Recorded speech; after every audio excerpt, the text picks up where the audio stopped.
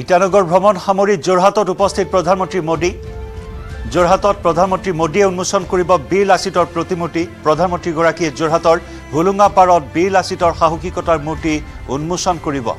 Statue of ভেলৰ বীৰত্বৰ স্তম্ভ মুকলি কৰিব প্ৰধানমন্ত্ৰী মোদীয়ে জগত সভালৈ বিশ্ব সভালৈ লৈ যাব অসমৰ জাতীয় নায়ক জাতীয় বীৰ লাচিত বৰফুকনক। অসমীয়াৰ শৌৰ্যবীৰ্যৰ প্ৰতীক বীৰ লাচিত বৰফুকনক প্ৰধানমন্ত্ৰীয়ে বিশ্বৰ দৰবাৰত প্ৰতিষ্ঠা কৰিব।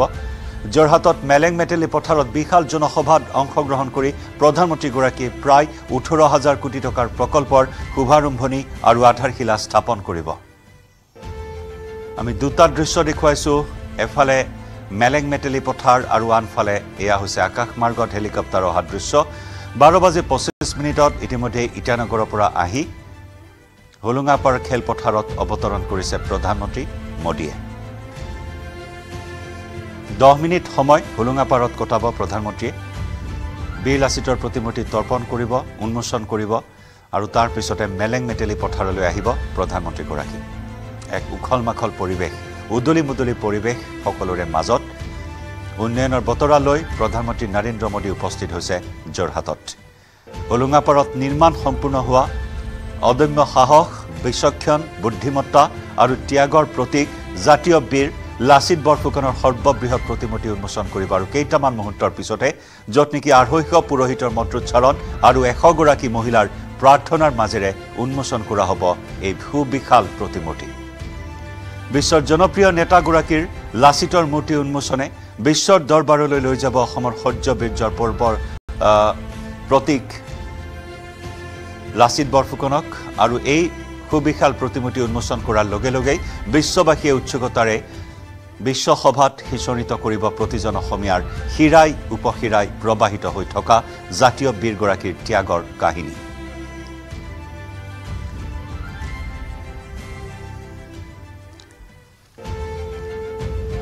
আমি হোলোঙাপাৰৰ দৃশ্য দেখুৱাম। সমান্তৰালকৈ মেলেং মেটেলি পথাৰতো এই মুহূৰ্তত যথেষ্ট উৎসৱমুখৰ পৰিৱেশে বিৰাজ কৰি আছে। মেলেং মেটেলি পথাৰত আছে আমাৰ সাংবাদিক গৌতম বৰা। গৌতম পুনৰবাৰ সংযুক্ত হৈছোঁ আপোনাৰ সৈতে। হয়। নিশ্চয়কৈ জয়ন্ত কিছু সময় পাছতে আমি দেখুৱাইছোঁ যে এই পথেৰে সাতত্ৰিছখন ৰাষ্ট্ৰীয় ঘাইপথেৰে যি হোলোঙা পাৰিস্থিত পাৰিস্থিত যি বীৰ লাচিত বৰফুকনৰ সমাধিক্ষেত্ৰ সেই সমাধিক্ষেত্ৰৰ পৰা প্ৰধানমন্ত্ৰীগৰাকী পথেৰে আহি মেলেং মেটেলিৰ এই সভাস্থলীত উপস্থিত হ'বহি। আমাৰ সন্মুখত থকা যিটো অস্থায়ীভাৱে নিৰ্মাণ কৰা যিটো পথ সেই পথেৰে প্ৰধানমন্ত্ৰীগৰাকী আগবাঢ়ি যাব যি মণ্ডপ তৈয়াৰ কৰা হৈছে যি মঞ্চ তৈয়াৰ কৰা হৈছে সেই মঞ্চলৈকে আগবাঢ়ি যাব। আৰু এই পথৰ দুই কাষে হাজাৰ হাজাৰ লোক ডেৰ লক্ষাধিক লোক ইয়াতে সমবেত হৈছে। সকলোৱে প্ৰধানমন্ত্ৰীগৰাকীক স্বাগতম জনাব। আমি দেখুৱাইছোঁ যে মন্ত্ৰী পীযুষ হাজৰিকা ডাঙৰীয়া নিজেই সকলোখিনি তদাৰক কৰি থকা আমি দেখিবলৈ পাইছোঁ যে বহু সংখ্যক ডেৰ লক্ষাধিক লোক ইয়াতে সমবেত হৈছে। আমি দেখুৱাইছোঁ যে যিসকল যিসমূহ চকী আছিলে সেই চকীসমূহ ভৰি পৰাৰ পাছত সেই ফিল্ডৰ যি কাষত যি খালী ঠাই আছিলে সেই খালী ঠাইসমূহতো এনেদৰে লোকে লোকাৰণ্য হৈ পৰিছে। অৰ্থাৎ ডেৰ লাখতকৈ অধিক লোক ইয়াতে সমবেত হৈছে আৰু মই দেখুৱাইছোঁ মই যদি বাওঁফালে দেখুৱাব পাৰোঁ যে এই মুহূৰ্তটো যিসকল লোক বাছেৰে হয়তো দূৰ দূৰণিৰ পৰা আহি এই মুহূৰ্তত উপস্থিত হৈছে সেই লোকসকল এই মুহূৰ্তটো সভাস্থলীলৈ তেওঁলোক গৈয়ে আছে। আমি জনাইছিলোঁ যে বৰ্তমান সাতত্ৰিছখন ৰাষ্ট্ৰীয় ঘাইপথেৰে সকলো ধৰণৰ যান বাহনৰ চলাচল সম্পূৰ্ণৰূপে বন্ধ কৰি দিয়া হৈছে। আৰু যিসমূহ যান বাহন উজনিৰ পৰা নামনি দিশে গৈছে সেই গাড়ীসমূহ যান বাহনসমূহ আমগুৰি হৈ তিতাবৰ মৰিয়নি বা গোলাঘাট হৈ পুনৰ সাতত্ৰিছখন ৰাষ্ট্ৰীয় ঘাইপথলৈ আহিব পাৰিব বা গুৱাহাটীৰ পৰা উজনিলৈ যাব পৰা যাব খোজা যিসমূহ গাড়ী আছে সেই গাড়ীসমূহ যোৰহাটৰ পৰা তিতাবৰ মৰিয়নি হৈ ধোদৰালি হৈ আমগুৰিত ওলাই আমগুৰিৰ পৰা সাতত্ৰিছখন ৰাষ্ট্ৰীয় ঘাইপথত উঠিব পাৰিব। আৰু যিসমূহ বাণিজ্যিক বাহন আছে ট্ৰাক আছে সেই সেই গাড়ীসমূহ ইতিমধ্যে ভোমোৰাগুৰি দলঙেৰে হৈ লখিমপুৰ ধেমাজি হৈ বগীবিল দলঙেৰে উজনি অসমলৈ যোৱাৰ ব্যৱস্থা আৰু আমি দেখুৱাইছোঁ যে এই মুহূৰ্তত সকলোৰে আগ্ৰহেৰে বাট চাই ৰৈছে কিছু সময়ৰ পিছতে কিছু মুহূৰ্তৰ পিছতেই হোলোঙা পাৰৰ পৰা পথেৰে আহি প্ৰধানমন্ত্ৰীগৰাকী এই বিশাল যি জনসভা সেই জনসভাত উপস্থিত হ'ব। আমি দেখুৱাইছোঁ যে ব্যাপক কটকটীয়া নিৰাপত্তা ব্যৱস্থা গঢ়ি তোলা হৈছে। ইয়াত আমি বি এছ এফৰ পৰা আৰম্ভ কৰি C R P F black panther commando Assam আৰক্ষীৰ শীৰ্ষ বিষয়াৰ পৰা আৰম্ভ কৰি হাজাৰ হাজাৰ জোৱান আমি দেখিবলৈ পাইছোঁ এই প্ৰগ্ৰেমটো এই অনুষ্ঠানটো যাতে সুকলমে অনুষ্ঠিত হৈ যায়। তাৰ বাবে ইয়াতে ব্যাপক কটকটীয়া নিৰাপত্তা ব্যৱস্থা গঢ়ি তোলা হৈছে আৰু এই মুহূৰ্তত আমি দেখুৱাইছোঁ এই পথেৰে এই পথেৰে কিছু সময়ৰ পিছতে প্ৰধানমন্ত্ৰীগৰাকী কনভয় আহিব আৰু সেই কনভয় আহি যি সভাস্থলী আছে যি জনসভা আছে সেই জনসভাত প্ৰৱেশ কৰিব। তাৰপৰা প্ৰধানমন্ত্ৰীগৰাকী মঞ্চত উপবিষ্ট হ'ব আমি দেখুৱাইছোঁ আৰু সকলোৰে আগ্ৰহেৰে অপেক্ষা কৰি আছে যে যি ধৰণে সকলোৱে আগ্ৰহেৰে বাট চাই ৰৈছিল আৰু সকলোখিনি সফল হোৱাৰ দিশে আগবাঢ়িছে ভবাতকৈও অধিক ইয়াতে জনসমাগম হৈছে অধিক মানুহ আহিছে। আমি পুনৰ দেখুৱাইছোঁ যদি আমি দেখুৱাব পাৰোঁ যে যি সভাস্থলী আছে তাতে ডেৰ লাখতকৈ অধিক লোক ইতিমধ্যে আমি দেখিবলৈ পাইছোঁ। আৰু সকলো আসন পূৰ হৈ যোৱাৰ পাছত মানুহ থিয় হৈও আছে আৰু আৰু খালী ঠাইসমূহো পূৰ হৈ গৈছে আৰু আমি দেখুৱাই গৈছোঁ যে এনেধৰণে ইতিমধ্যে সকলো প্ৰস্তুতি সম্পূৰ্ণ সকলোৱে আগ্ৰহেৰে আগ্ৰহেৰে বাট চাই ৰৈছে যে প্ৰধানমন্ত্ৰীগৰাকী অহালৈ ভবাতকৈও বেছি মানুহ হৈছে। এইবাৰ ভাবিব নোৱাৰা ৰাইজৰ পাৰ ভগা বুলি হয় গৌতম আপুনি থাকিব সংযুক্ত হৈ আহিম আপোনাৰ কাষলৈ। এয়া হোলোঙা পাৰৰ পৰা পোনপটীয়া সম্প্ৰচাৰ দেখুৱাইছো। এয়া তৰ্পণ কৰা হৈছে লাচিতৰ প্ৰতিমূৰ্তিত প্ৰধানমন্ত্ৰী মোদী লগতে দেখুৱাইছো আঢ়ৈশ পুৰোহিত আঢ়ৈশ পুৰোহিতৰ মন্ত্ৰোচ্চাৰণৰ মাজত প্ৰধানমন্ত্ৰীগৰাকীয়ে এয়া বীৰ লাচিতৰ প্ৰতিমূৰ্তিত তৰ্পণ কৰিছে আৰু কিছু সময় পিছতে এয়া উন্মোচন কৰা হ'ব বীৰ লাচিতৰ সুবিশাল প্ৰতিমূৰ্তি। এয়া এক্সক্লুচিভ দৃশ্য দেখুৱাইছো। হোলোঙা পাৰৰ পৰা পোনপটীয়া সম্প্ৰচাৰ আমি দেখুৱাইছো। উন্নয়নৰ বতৰালৈ প্ৰধানমন্ত্ৰীগৰাকী উপস্থিত হৈছে। যোৰহাটত ইটানগৰৰ পৰা বাৰ বাজি পঁচিছ মিনিটত হোলোঙাপাৰত অস্থায়ী হেলিপেডত অৱতৰণ কৰি এয়া লাচিত বৰফুকন সাংস্কৃতিক প্ৰকল্পত উপস্থিত হৈছে আৰু এই প্ৰকল্পতে নিৰ্মাণ সম্পূৰ্ণ হৈ উঠা এশ পঁচিছ ফুট উচ্চতাৰ সুবিশাল প্ৰতিমূৰ্তি উন্মোচন কৰিবলৈ লৈছে দেশৰ প্ৰধানমন্ত্ৰীগৰাকীয়ে। प्रधानमंत्री का निरंतर ये प्रयास रहा कि गुमनाम नायकों को उचित तरीके से सम्मानित किया जाए। और इसी के अनुरूप हमने देखा था कि देश 2022 को लचित बोरफुकन की 400वीं जयंती के रूप में मना चुका है। साफ़ तौर पर जिस तरह से असम के अहोम साम्राज्य की शाही सेना के प्रसिद्ध जनरल रहे लचित बोरफुकन, जिन्होंने मुगलों से लोहा लेकर उन्हें नाको चने चबवाए और औरंगज़ेब के अधीन मुगलों को लगातार जो उनकी बढ़ती हुई महत्वाकांक्षाएँ थी, भारत के खिलाफ, भारतीय संस्कृति के खिलाफ उन्हें रोका, सफलतापूर्वक रोका। बोरफुकन ने सोलह सौ इकहत्तर की लड़ी गई सराय घाट की लड़ाई में जो असमिया तमाम सैनिक हैं, जो कहीं ना कहीं ऊर्जा उनमें भरी, उन्हें प्रेरित किया और उनमें लड़ने का वो मादा भरा कि मुगलों की करारी और एक अपमानजनक हार हुई, जिस तरह से वो भारत के खिलाफ लगातार एक विस्तारीकरण की योजना के साथ भारत की संस्कृति को नुकसान पहुँचा रहे थे। लचित बोरफुकन और उनकी सेना की वीरतापूर्ण लड़ाई हमारे देश के इतिहास में प्रतिरोध के सबसे प्रेरणादायक जो सैन्य कारनामे हैं, ऐसे बहुत से सेनानी रहे हैं, जिन्होंने भारत की अब जो, अब हम मान सकते हैं संस्कृति, भारत के तमाम गौरव को बचाने की कोशिश की है और उन्हीं में बहुत अहम रोल लचित बोरफुकन का भी है। वहीं लचित बोरफुकन उन बहादुर लोगों में रहे जिन्होंने मुगल साम्राज्य के जो अत्याचारी शासक हैं, उनके चंगुल से कई लोगों को आज़ाद करवाया। साथ ही सराय घाट में जो रोल, जो ये लड़ाई लड़ी गई, वीरता से परिपूर्ण, अदम्य साहस और शौर्य का परिचय दिया गया लचित बोरफुकन द्वारा। उन्होंने ये सिखाया, ये दिखाया, ये द्रष्टव्य किया कि वीरता का कार्य न केवल मातृभूमि के प्रति अद्वितीय प्रेम का उदाहरण है बल्कि उनमें पूरे असम क्षेत्र को एकजुट करने की शक्ति थी। जिस प्रतिबद्धता और जिस दूरदर्शिता के साथ प्रधानमंत्री हमेशा कहते हैं कि सबका साथ, सबका विश्वास, सबका प्रयास, उसका उदाहरण हम बहुत पहले ही जो लचित बोरफुकन हैं, उनके व्यक्तित्व में देखते हैं कि किस तरह से असम क्षेत्र को एकजुट करके उन्होंने मुगल शासकों को खदेड़ा। और कैसे आवश्यकता पड़ने पर हर नागरिक हर नागरिक जो भारत देश का वासी है, भारतवासी है, वो अपनी मातृभूमि की रक्षा करने के लिए तत्पर है। जोरहाट असम की तस्वीरें जहाँ प्रधानमंत्री ने अभी तर्पण किया है, आप देख सकते हैं। और ये असम का दो दिवसीय दौरा है प्रधानमंत्री का। आज सुबह हमने देखा कि प्रधानमंत्री ने कैसे काजीरंगा राष्ट्रीय उद्यान में जंगल सफारी पर सवारी कर, देश से आह्वान किया कि आप यहाँ आए। उसके बाद हमने देखा कि ईटानगर में कई ऐसी योजनाएँ थी जो राष्ट्र और लोकहित से जुड़ी, जिन्हें समर्पित किया गया। और प्रधानमंत्री ने कहा कि किस तरह से जब हम विकसित भारत की बात करते हैं, उसमें विकसित पूर्वोत्तर होना बेहद ज़रूरी है। कैसे? अष्टलक्ष्मी का उन्होंने ज़िक्र किया। साउथ और साथ ही साथ नॉर्थ ईस्ट को जोड़ते हुए ये जो अष्टलक्ष्मी है, कैसे ट्रेड को एक इंक्लूसिव अप्रोच दी गई, जो संबोधन हमने सुना था प्रधानमंत्री का। और अब प्रधानमंत्री जोरहाट में इस वक्त मौजूद है, जहाँ प्रधानमंत्री ने तर्पण किया है। और आज, अभी कुछ देर में, जब लचित बोरफुकन, जिसका ज़िक्र हम कर रहे हैं अहोम साम्राज्य के प्रसिद्ध जनरल, जिन्होंने मुगल शासकों को धूल चटाई, एक किस तरह से 2022 का जो साल था, वो उनकी 400वीं जयंती को समर्पित किया गया, ये एक कवायद है, ये एक कोशिश है कि वो गुमनाम नायक, जिन्होंने भारत में कई ऐसे उत्कृष्ट कार्य किए जो देश की आज़ादी से जुड़े थे, जो लोगों को इकट्ठा करने से जुड़े थे।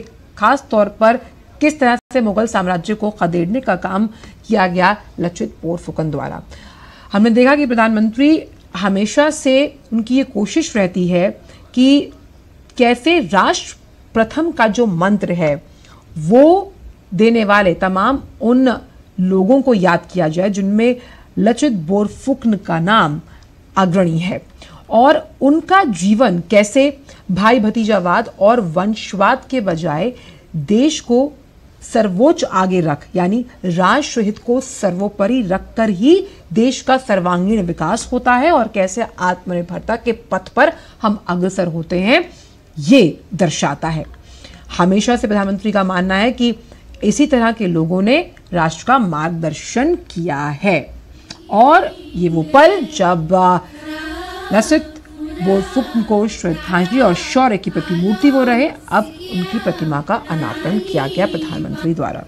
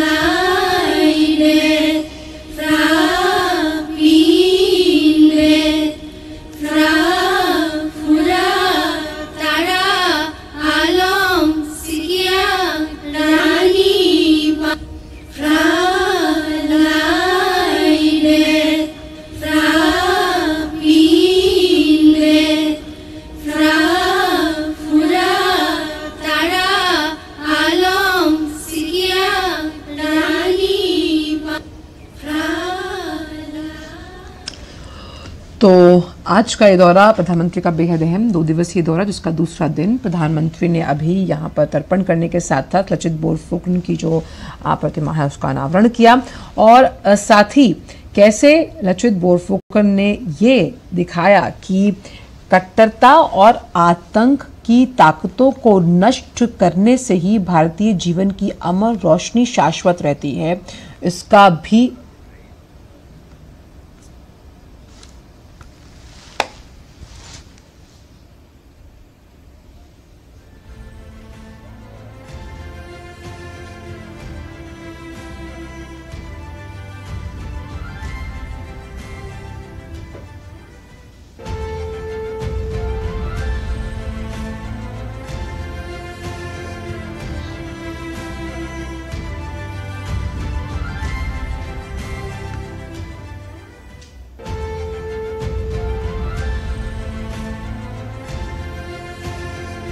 এয়া প্ৰধানমন্ত্ৰী নৰেন্দ্ৰ মোদীয়ে পৰম আকাংক্ষিত এটা সময় এয়া। আৰু এই সময় মাহেন্দ্ৰ ক্ষণ ঐতিহাসিক ক্ষণ এয়া ঐতিহাসিক ক্ষণত বীৰ লাচিতৰ সুবিশাল প্ৰতিমূৰ্তি উন্মোচন কৰিলে। জগত সভালৈ অসমৰ জাতীয় বীৰ লাচিত বৰফুকনক লৈ যোৱাৰ এক অনন্য প্ৰয়াস। এশ বিছ ফুট উচ্চতাৰ সুবিশাল প্ৰতিমূৰ্তি এশগৰাকী মহিলাৰ প্ৰাৰ্থনা আৰু আঢ়ৈশ পুৰোহিতৰ মন্ত্ৰোচ্চাৰণৰ মাজত মুকলি কৰিলে উন্মোচন কৰিলে।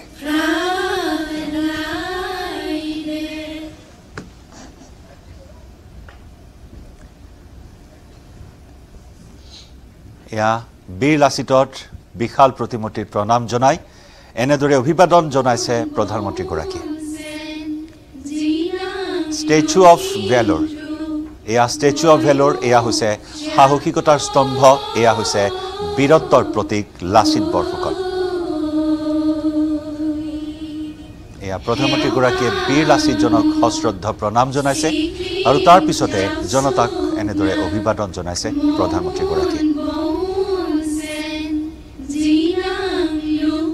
অসমীয়াৰ শিৰাই শিৰাই প্ৰবাহিত হৈ থকা জাতীয় বীৰগৰাকীৰ ত্যাগৰ কাহিনী আজি বিশ্ববাসীয়ে গম পাব। দুহেজাৰ বাইছ বৰ্ষৰ পোন্ধৰ ডিচেম্বৰত যোৰহাটত অনুষ্ঠিত হোৱা কেবিনেট বৈঠকত মুখ্যমন্ত্ৰী ডক্টৰ হিমন্ত বিশ্ব শৰ্মাৰ নেতৃত্বাধীন ৰাজ্য চৰকাৰে সমগ্ৰ যোৰহাট জিলাতে আঠশ সাতত্ৰিছ কোটি টকা ব্যয়েৰে ষোল্লটা বৃহৎ অভিলাষী প্ৰকল্প হাতত লৈছিল। আৰু ইয়াৰ ভিতৰতে অন্যতম আছিল এয়া লাচিত বৰফুকন স্মাৰক আৰু সাংস্কৃতিক প্ৰকল্প। সেই অনুসৰি হোলোঙা পাৰস্থিত পূৰ্বৰ লাচিত বৰফুকন মৈদামৰ লগতে অধিগ্ৰহণ কৰা আঠচল্লিছ বিঘা দুকঠা সোতৰ লেচা ভূমিত এশ ঊনপঞ্চাছ দশমিক আঠ দুই কোটি টকা সাপেক্ষে ব্যয় সাপেক্ষে নিৰ্মাণ হোৱা এই সুবিশাল প্ৰতিমূৰ্তি উন্মোচন কৰিলে মোদীয়ে। দুহেজাৰ বাইছ বৰ্ষৰ পোন্ধৰ ডিচেম্বৰৰ দিনা ভূমি পূজন কৰা হৈছিল। নিৰ্মাণৰ দায়িত্ব অৰ্পণ কৰা হৈছিল আহলুৱালিয়া নামৰ ঠিকাদাৰী প্ৰতিষ্ঠানক আৰু এবছৰ দুমাহ একৈছ দিনৰ অন্তত সৰ্ববৃহৎ প্ৰতিমূৰ্তি স্থাপনৰ কাম সম্পূৰ্ণ হৈ উঠিল।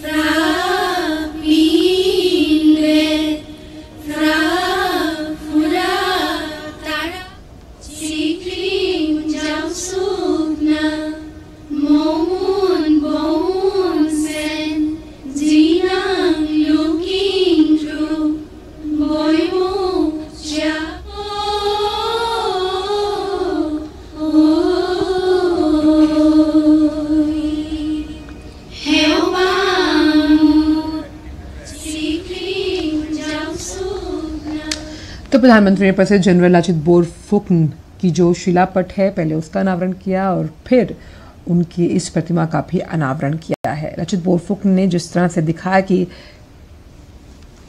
लाचित बोरफुकन की जो प्रतिमा है उसका अनावरण प्रधानमंत्री द्वारा किया गया और जिस तरह से लाचित बोरफुकन ने ये सिखाया कि अपनी बहादुर अपनी जो अ, अंदर की शक्ति है उस बहादुरी के साथ हम कट्टरता और आतंक की ताकतों को नष्ट कर सकते हैं। कैसे मुगल साम्राज्य को उखाड़ फेंकने और उन्हें, उनके दांत खट्टे करने का जो जज्बा, अहोम जनरल शासक की अगर बात की लचित बोरफुकन में था, ये अपने आप में कई लोगों के लिए प्रेरणादायी है। और कैसे उनका जीवन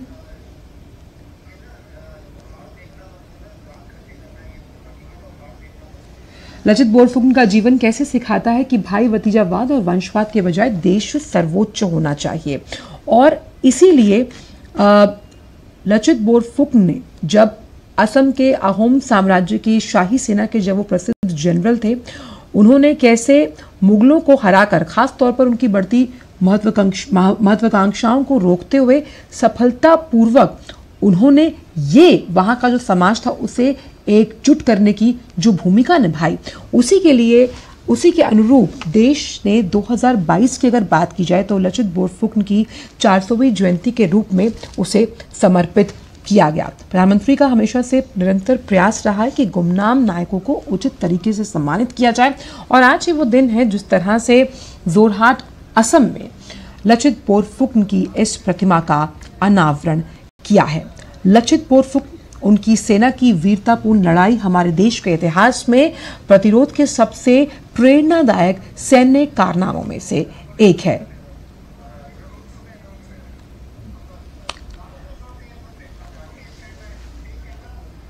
और प्रधानमंत्री ने जिस तरह से आ- आइए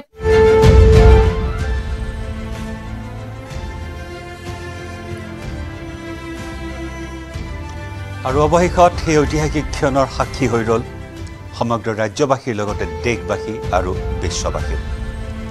অসমৰ পৰ্যটন ক্ষেত্ৰত এক নৱতন সংযোজন হ'ল লাচিত বৰফুকন স্মাৰক আৰু সাংস্কৃতিক প্ৰকল্প।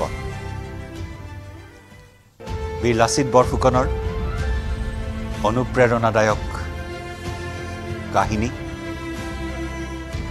নৱপ্ৰজন্মৰ লগতে সমগ্ৰ বিশ্ববাসী অৱগত হ'ব এতিয়াৰে পৰা। প্ৰধানমন্ত্ৰীগৰাকীয়ে জগত সভালৈ লৈ গ'ল। বীৰ লাচিত বৰফুকনক। এবছৰ দুমাহ একৈছ দিন।